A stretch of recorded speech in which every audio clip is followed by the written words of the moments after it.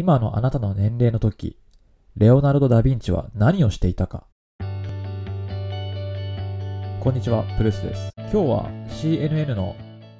ニュースですね。ニュースと言いますか、あの、スタッフ、編集者の方たちが特集しているページがありまして、まあ、希代の天才の芸術家、レオナルド・ダ・ヴィンチですけれども、まあ、あの、モナリザを描いたことで有名ですよね。このレオナルド・ダ・ヴィンチが、もし聞いていらっしゃる皆さんの年齢であある時、一体何をしていたのかっていうのをまとめてる記事がございまして、ちょっと面白いので紹介したいと思います。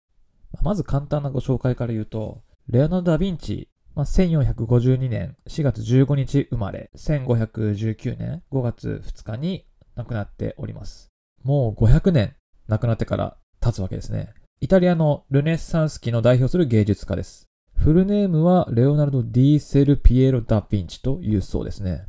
で、この方は何がすごいのか。音楽、建築、数学、幾何学、解剖学、生理学、動植物学、天文学、気象学、地質学、地理学、物理学、工学、力学、土木工学、などなどの様々な分野に顕著な業績と思考を残したとされ、まあ、あらゆる分野に精通されていたという大天才だったそうです。さらにですね、要望にも優れ、容姿要望にも優れていたそうです。相当イケメンだったと。美男子としてもかなり誉れ高かったということです。すごいですね。かなりの天才ですね。まあ、容姿、まあ、容姿端麗と言いますか、容姿も優れていて、まあ、彩色兼備な人っていうのはなかなか珍しいと思うんですけども、もうレナ・ダ・ヴィンチはまさにその一人に該当するというふうに言えますね。そんなレオナルド・ダ・ヴィンチが残した代表作はモナリザですね。まあ、他にもあの、カーネーションの聖母とか、洗礼者ヨハネとか、まあ、キリスト教の影響を受けていろんなそういう絵を描いていたまあ、本当に見たこと、一度は絶対に目にしたことがあるような絵をばかり残しているということで、この方が一体あなたの年何をしていたのかっていうのをですね、この CNN の方でね、まとめているんですね。あなたの年齢を打ち込んでくださいという項目が出てきます。で、年齢を打ち込むとですね、その年齢の時に、結構具体的に35とか45とかっていう風に打っていただくと、出ます。で、ちなみにちょっと私の年齢を打ってみた結果をお伝えしてみたいと思います。私31という、まあ、おっさんなんですけど、おっさんの31歳という年齢を打った結果ですね。At the age of 31, Leonardo started working on Virgin of the Rocks, his largest painting to date at 6 feet in height. The painting,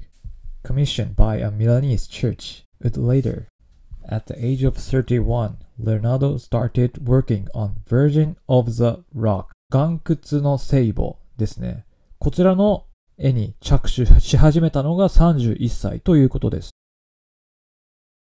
His largest painting to date at 6 feet in height 高さ6.5フィート。ああ、2メートル。絵だそうです、こちら。相当でかいですね。The painting commissioned by a Milanese church would later become entangled in a long dispute about payment that would result in Reynolds making a second version. イタリアのミラネーゼ教会から依頼された絵なんだそうです。ただ、このミラネーゼチャーチから依頼された絵も、まあ、become entangled in the long dispute about payment。まあ、支払いについてちょっといろいろといざこざがあったそうです。最初この岩窟の聖母、Virgin of the Rocks が制作されたのが、ま、パリ版と呼ばれるのがあるそうで、このパリ版の岩窟の聖母完成後に、まあ、なんか代金の支払い等で、そのさっきの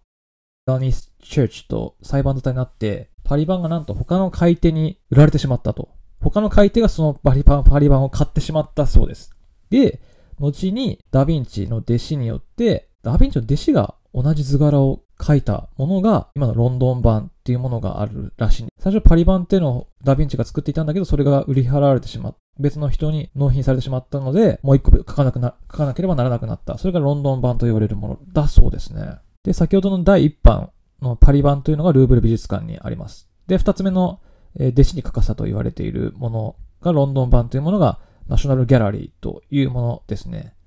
全く一緒の絵のように見えて若干違うらしい。面白いですね。全く同じ絵が2つあるということなんですよね。で、それがそれぞれロンドンとパリ、フランスに、それぞれ美術館に展示されていると。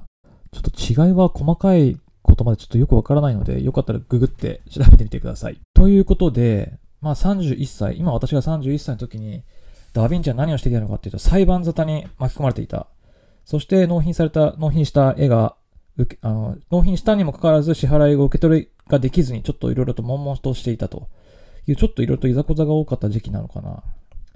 ダヴィンチも意外に人ですね。やっぱ人としてこういう裁判とか、支払いがどうとかってやっぱり言っていたんですね。いや、面白いなまあでもやっぱこういう眼屈の聖母っていう、まあ、素晴らしい絵を描いたダヴィンチというのはやはり天才であったのは間違いないですよね。で、皆さんぜひこのサイトですね、調べてみてください。ちなみに、モナリザを描いたのいつだかご存知でしょうか？